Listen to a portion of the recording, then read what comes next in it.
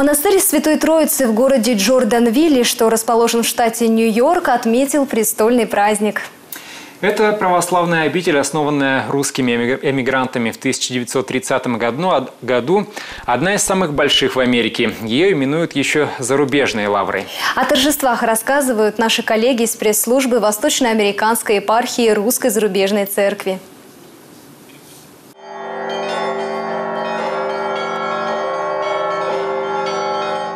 Праздник Святого Духа в Джорданвилле, штат Нью-Йорк, прошли ежегодные торжества по случаю престольного праздника Свято-Троицкого монастыря. Хотя престольный праздник обители отмечается на день раньше, в праздник Святой Троицы, по сложившемуся обычаю, многие представители духовенства и мирян прибыли в обитель на следующий день, отслужив Троицу у себя на приходе.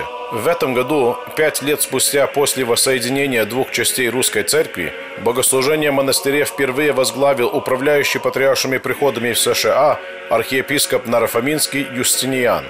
Его высокопреосвященству сослужили викарий Восточноамериканской епархии, преосвященнейший епископ Мейфилдский Георгий, настоятель обители Архимандрит Лука – а также духовенство Московского патриархата и Русской зарубежной церкви.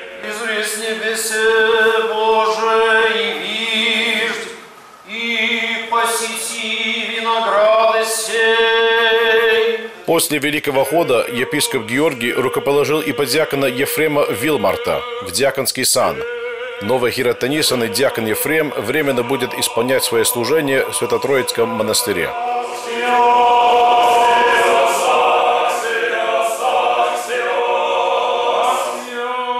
На литургии также служил протодиакон Андрей Кураев, знаменитый русский богослов и преподаватель Московской духовной академии.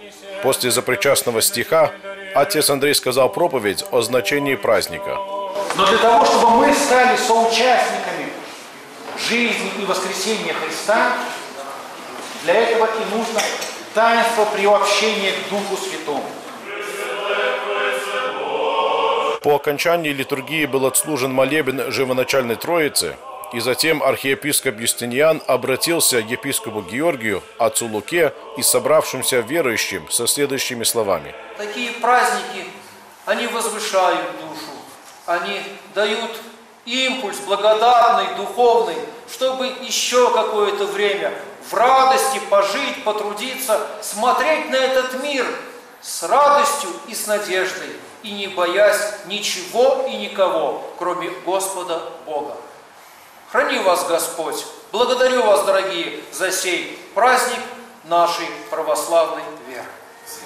Петр Лукьянов, пресс-служба Восточноамериканской епархии, специально для телеканала «Союз».